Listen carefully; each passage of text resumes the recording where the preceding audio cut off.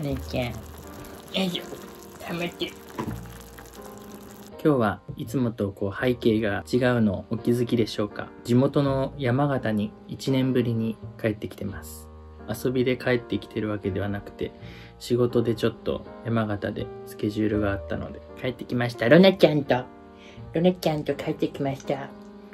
楽しいね、山形。山形楽しいですか？お家広くてロナちゃんはずっと探検してます。ということで今日は一人鍋をしていきます。ソーシャルディスタンス。いつもね、なんか実家に帰ってくるときに母親が何食べたい？って聞いてくるんだけど、いつもカレーか鍋かっていう。キムチ鍋。うまっうめえ。おこ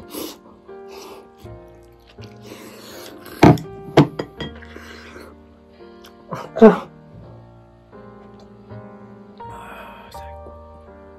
なんかね、実家で食べる鍋とカレーは違うんだよね。まあ、もちろん味的にも美味しいんだけど、感じ方がね、えぐいんだよね。美味しいの。感じ方が。うんうまっこれご飯、山形のつや姫っていう品種なんですけど、私はもうお米の中ではつや姫が一番好きなので、いつも実家に帰ってくるときはつや姫を炊いて待っててくれます、母親が。まあ、もちろん山形、実家は落ち着くし、力を抜いてぼーっとすることができるんだけど、だけども、うーん、東京にいた方が落ち着くようになってきたかな。まあ山形が心の中から離れたわけではないんだけど、なんか東京にいる時に考えもつかなかった言葉だったり、なんかそういうのがポンポンポンポン山形にいる時の方が出てくるね。うん。うまっ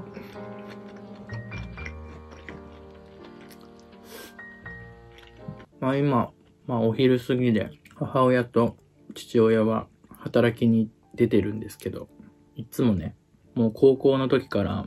もう私はご飯は丼で飲み物はジョッキなの。このセットでいつも未だにご飯が出てくるんだけど、今日ちょっと昼間動画撮りたいんだよねって話してたらさ、母親が台所にすごいあの綺麗な、私が一回も使ったことないような茶碗用意しててさ、あ、こっちを使ってほしいんだろうな、なんか絵的にって思いながらも、でも、でもちょっといつも通り飾らずにどら丼で食べようと思って、丼を選びました。でもやっぱ山形の方が、まあ東京に比べてもちろん寒いからさ、すごいやっぱり乾燥してるね。あとね、カメムシがいる。そう、めちゃめちゃいるわけじゃないんだけど、なんか東京ってたまーに見るぐらいなの、カメムシ。網戸にカメムシが止まってたりとかさ。なんかそういうのやっぱ山形帰ってきてよく見る光景だなと思うね、毎回。カメムシ見るとなんかちょっと、あ、山形帰ってきたなって思う。いつも以上に保湿してさ、乾燥してるからさ、肌もさ。ねえ、ルネちゃん。冬場だからなんか、肌を保湿しろ保湿しろってなんかみんな言うけどさ、いろいろこう考え直したりとか、心を保湿することが大事なのかなって思うよね。まあ肌の乾燥を保湿するのも大事だけどさ、なんか心の乾燥はなんか保湿できてんのかなとか思って。心の保湿に関してはもう自分がどうするかでしかないからさ。私毎年毎年思うのが、なんかさ、来年に向けてさ、何を頑張ろうとか、何は成し遂げたいなとかさ、そういう気持ちになると思うんだけどさ、みんなさ。なんか私さ、逆にさ、毎年1年終わるときに、来年は何を背負うのをやめようかなっていうか、自分の今頑張ってる部分のどこを誰にだったら任せることができるかなとか、一つ一つ背負ってる荷物をこう置いていく作業。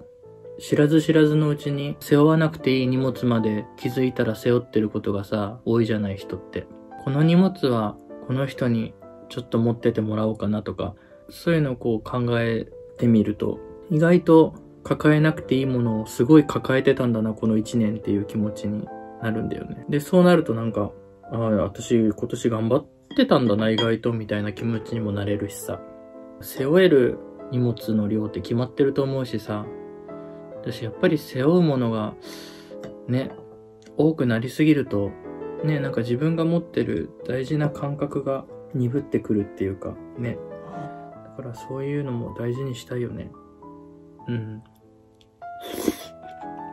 うまっ。うめえ。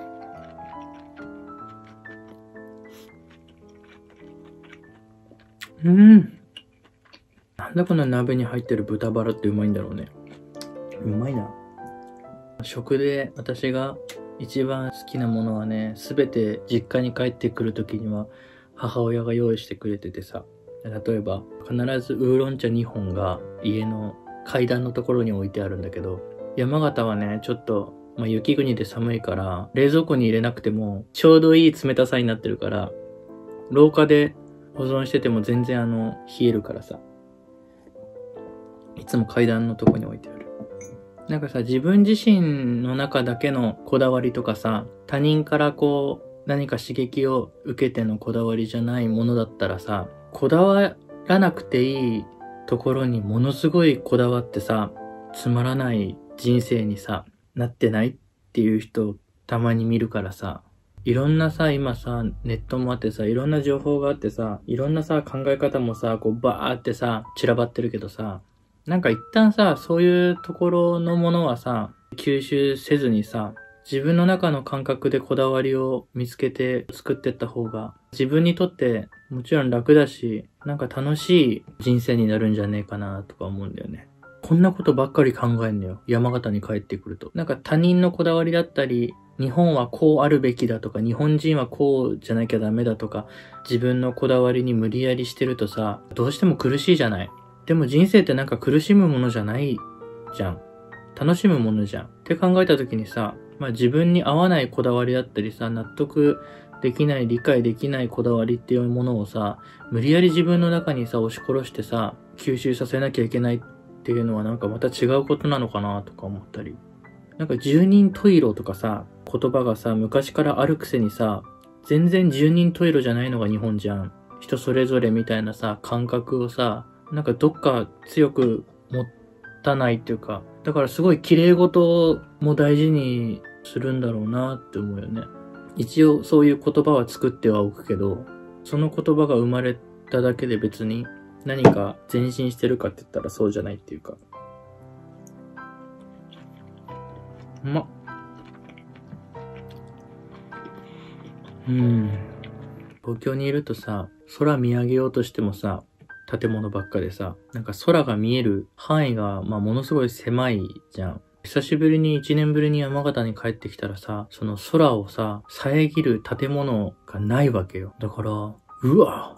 こんなに広かったんだなっていうかさ、空って。5年でだってそういう感覚になるんだもんね。上京して5年で。なんか空がやっぱ狭いところで生きてると心も狭くなるのかね。なんか山形にいるとなんか久々に山形帰ってきてるから安心してるっていうのもあるだろうけど、なんかものすごい何でも許せるっていうかさ、寛容になれる。人間無心になることはまあ不可能だと思うんだよね、私って。何かしらはさ、まあ気づかないうちにさ、頭の中で考えてるからさ、私の仕事だけじゃないかもしんないけど、まあこういう風に言ってほしいですとか、こういう風にやってねとか、結局やっぱその通りにこう動いてさ、求められた、まあ、動きと言葉をこう、まあ、一つ一つ置いていった方がさ、まあ、何事もなく、まあ、終わるんだろうけど、本当のその自分の言葉でしか表現したくないっていう気持ちがなんか、前よりもすごく強くなってきて、まあ当たり障りのないすごい綺麗な言葉なんてさ、言ったらまあ私じゃなくても言えることじゃん。どうしてもやっぱり言葉にレールを敷かれたくないのよ。まあ、ある程度こうしてほしいっていうことは聞いた方がいろいろとそう考えやすいから言ってもらった方がいいんだけどさ。なんかまあ本当に一言でちょっとした些細な言動でものすごいその炎上する世の中なんだけど自分の言葉っていうのをすごい大事にしていきたいし、もちろんその相手に言葉の内容とかすごくその深い意味を伝えるっていうのも大事なんだけど、だけど別に伝わらなかったとしても、その自分のやっぱり頭の中の言い回しとか、世間というか社会になんか寄せすぎずになんか発信していきたいなと思ったりね。難しいんだけどね。だからまあ来年は、まあ別に、なんていうのかな、その目標をなんか立てることって好きじゃないし、なんか目標を立てたところで、途中でこう、うまくいかなくなった時に、落ち込みやすい。あんまり私は、これは絶対に成し遂げようってなんかまあ、思わなくてもいいのかなとか思うからさ。だからまあ今年よりも自分の言葉を大切になんかしていきたいなと思いますね。なんか毎日その同じ自分でいなきゃいけないっていうわけでもないと思うの。つまんなくない？なんか、これはもう自分自身の感じ方だけど、まあ、何事もその楽しいか面白いかで物事を見る。そうね。うん。